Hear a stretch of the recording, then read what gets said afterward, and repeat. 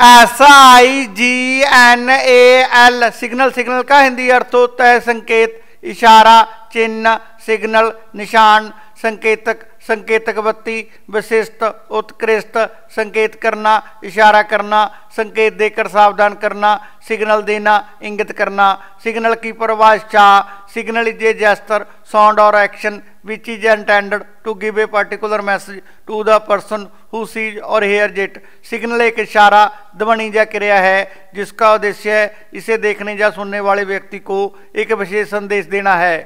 दोस्तों, इस शब्द को सेंटेंस से हम और अच्छी तरह समझ लेते हैं।